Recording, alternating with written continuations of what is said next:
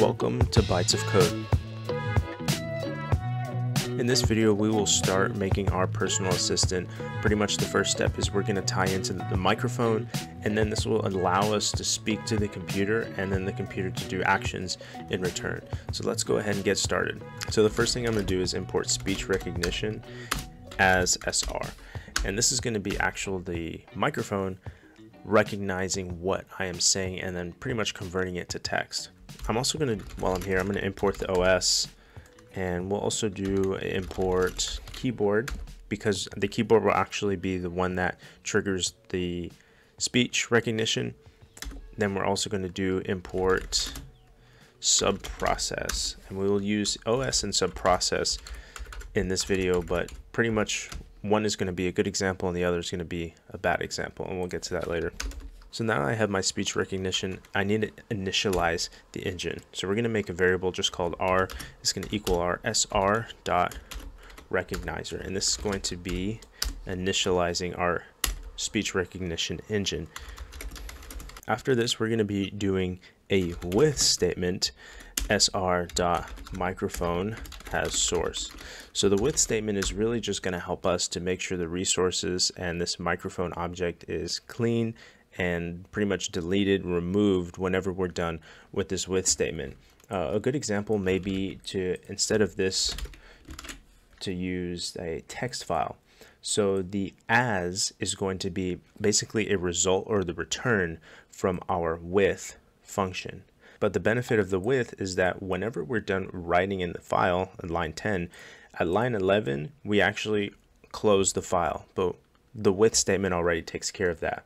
Now in this case, this with statement could be pretty much exactly the same as just writing it without the if statement here. We initialize our f variable, open the text file, we write to the text file, and then at line 15, this is the important line, we close the text file.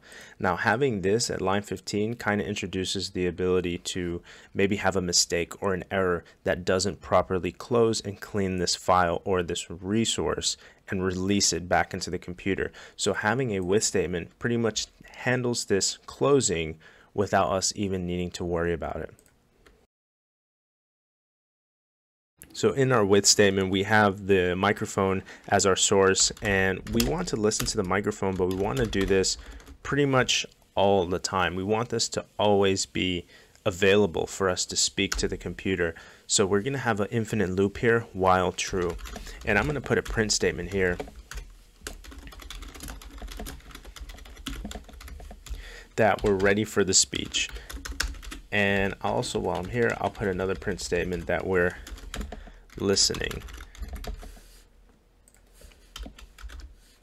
So we're ready for the speech, but right in here, line number 12, we'll put in the keyboard shortcut or the keyboard combination to start listening.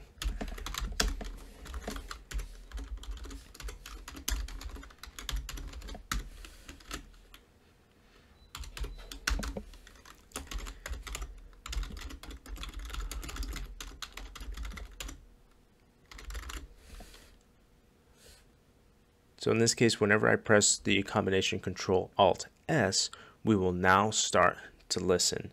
For listening, we're going to do a variable called audio data.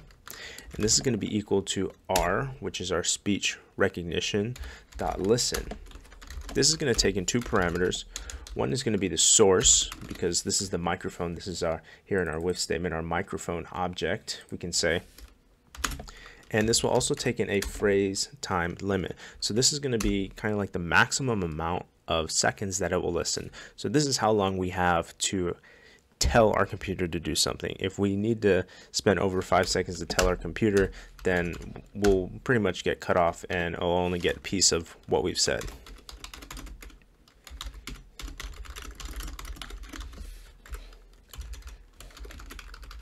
I'm going to put a print statement here also for recognizing. Now we're going to actually get the text from our speech. So we're going to have a new variable called text. This is going to be equal to r, our speech recognition, dot recognize. And there's different engines you can use. We're going to use recognize Google, and we're going to give it the audio data that we just got. audio, the audio data in line 19 is the one that's going into this new speech recognition. And now we will be able to have actually text from our speech.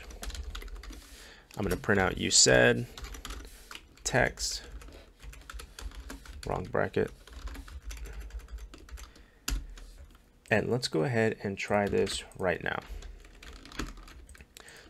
So if we run it we should see that it says ready for speech. So this actual microphone object needed a some brackets there so we run our program now we will see that it should say ready for speech now when we press our keyboard combo our computer microphone is listening to what we say for five seconds maximum. Then it should say recognizing. And now we should be able to see what we've said. And there's our text. Now that we have our text, we can pretty much use this to do anything we want. So we're going to do a quick example of using this to open Notepad. So we're going to say if our text was open Notepad, but we're going to use this term open notepad. This is our string. We're going to see if this string exists in our text. But we're going to force our text to be lowercase. It's possible for our speech, actually, it may sound weird, but to be in uppercase. So we want to make sure that whenever we're comparing, we're comparing it all in lowercase. Uh, for example, also this is different than this because of the uppercase O. Even this with the uppercase P in the middle of open is different than this with everything lowercase. So we're forcing the entire text that was spoken to be lowercase and then we're doing our comparison. Once we have this if statement, we can do OS system and this is actually how we can start opening programs, but with one problem. So I put in the path to my notepad.exe and you can put in the path to whatever uh, application you want.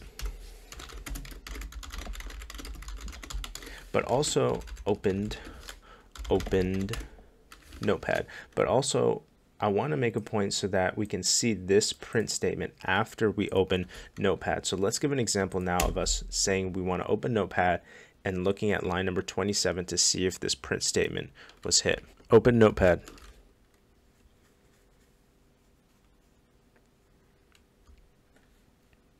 So Notepad did open, it opened in the background, but we can see also that line number 27 has not hit, that it doesn't say yay, we open Notepad. And that's because that this is actually blocking, the Notepad is actually blocking this line 27 from executing. When we close Notepad, we'll see finally this breakpoint and we print out yay, we open Notepad. So in order to work around that, instead of using os.system to open the executables, we want to do subprocess.p open to open our executables. Now, let's go ahead and run this. Open Notepad. So Notepad will open, but we don't have to close it in order for line 27 to run. We get the print statement, yay, we open Notepad. So subprocess.popen is a lot better to use because it doesn't block the rest of the code from continuing. In our next video, we'll add some more operating system calls. We'll have a call to hibernate the computer, and we'll also have a call to search the web browser for a keyword that you've said. And we'll also introduce a try except into this while loop. But thank you guys so much for watching this video. Please like and subscribe, and I hope to see you at the next video.